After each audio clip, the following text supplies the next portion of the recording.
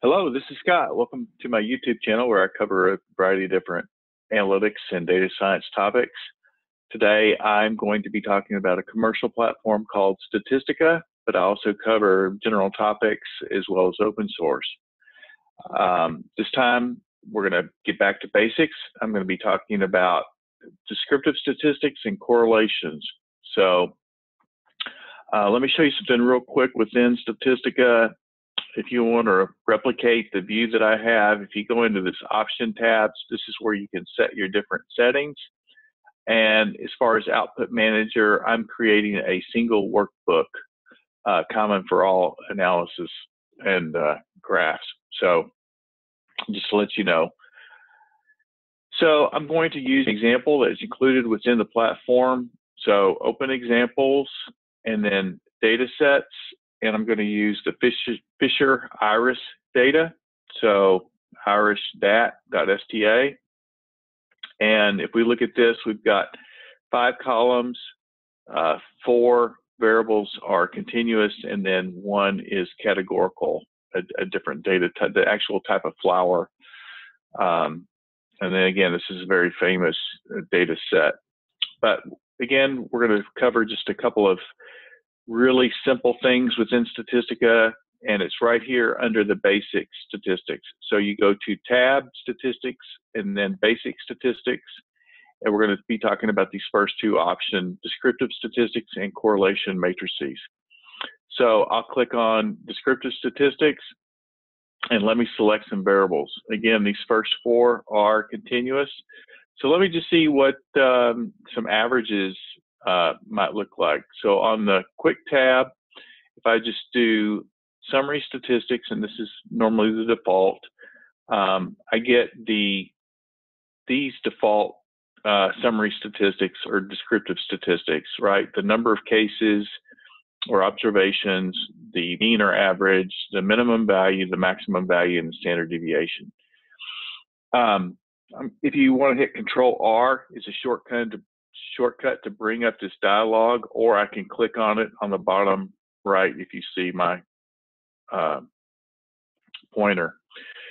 Uh, so you can also use this advanced tab to add statistics to this. So if, for example, I tend to like the median, I tend to like at least the 10th and the 90th percentile. So I'm not seeing just the ends and with the minimum and the maximum. I'm actually seeing kind of the the tails of the distribution. Um, sometimes I like to add the coefficient of variation. Anyway, you can select any of these that you want, and then you can select summary.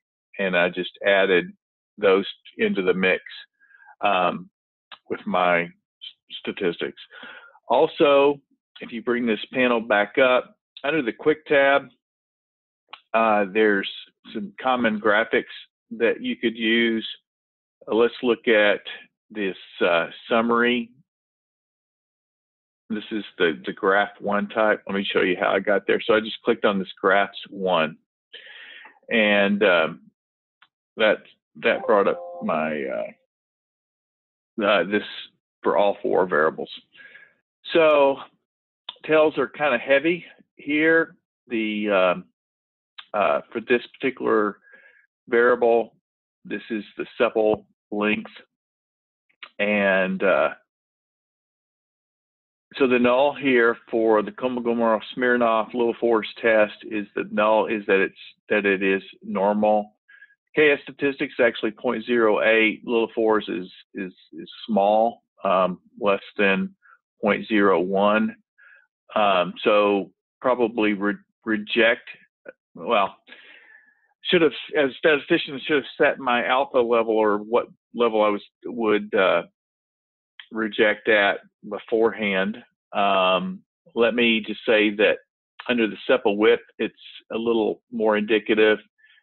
I can see here that um, I've got some right skewness. I've got a tail on the right. Um, the uh, uh, KS statistic 0.1 and the, the Lilliefors uh, is 0.01. And I thought in here, I actually had a uh, a skewness coefficient. as well, uh, but maybe not underneath this underneath this this particular view.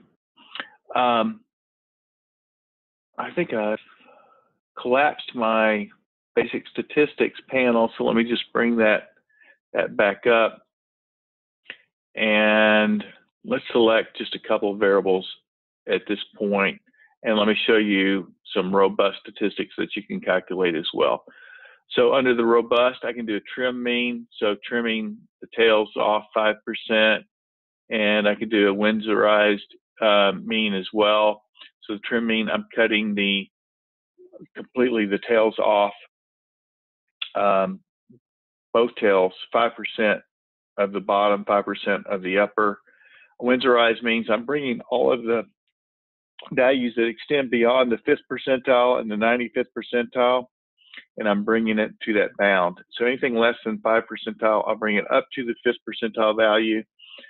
Um, anything above 95%, I'll actually um, make that value equal to the 95th percentile. And so I don't lose um, that information. I'm just, uh, again, cutting off or, or, moving the extreme values in that Winsorized uh, format. I can do all kinds of things with normality, other plots. I can do uh, probability and scatter plots, um, categor uh, categorical plots. Um, I should say categorized plots. We're, we're actually doing numeric data um, and looking at the, the values of the different categories. And here in just a little bit, we're going to, in the next one, we're going to talk about t-test and some other things that we can do where we actually compare uh, values in hypothesis test. So let me just go back to this robust and, and show you the statistics there for these. So the mean and trend mean, there's really not much difference. The Winsorized mean, really not a huge difference either. So not really heavy, heavy tails um, or outliers affecting the averages um, here in this. In so the other thing that we can look at under the basic statistics, um, I'm going to start a new analysis and I'm going to go to the correlation um, matrices and I can use things as a as a one variable list or a rectangular matrix. Let's just use the one variable list for these four um, variables. And so the first thing that I can do is I can just look at the, the correlations themselves. And so anything that's in red is statistically significant at 0.05. So um, an alpha of 0.05, and I can see that uh, petal length is statistically significant with uh, sepal length.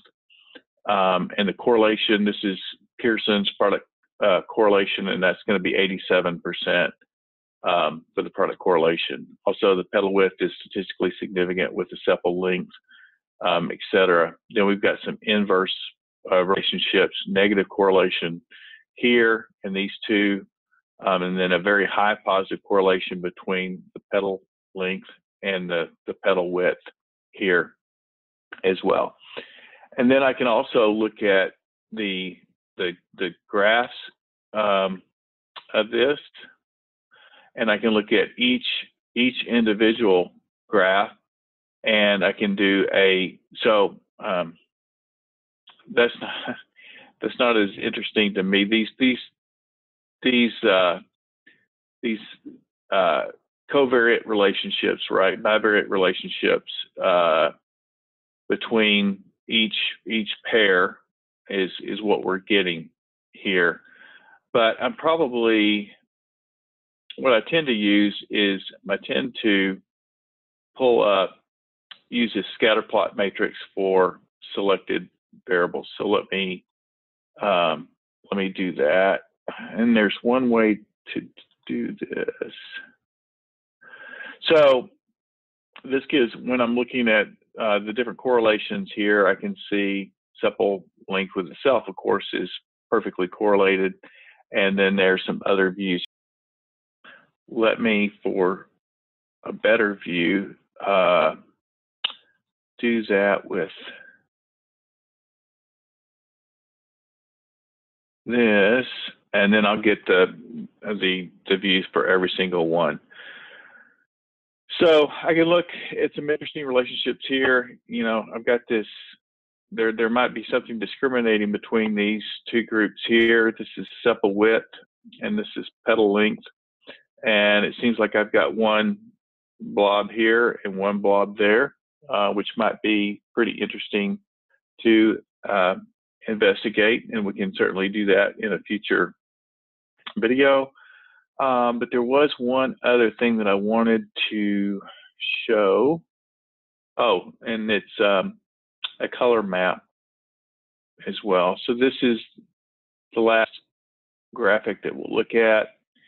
And what this provides is a kind of a heat map of correlations, right? So things that are very positively correlated are more blue. And here's the, the actual um,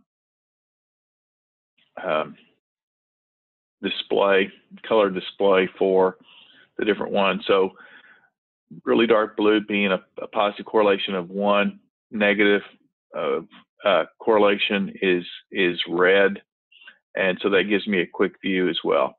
So I want to keep this short, so I'll end there, and next time we'll pick it up. Um, uh, we'll we'll continue on with this basics statistics, but we'll talk about some different uh, tests that we can run in Statistica.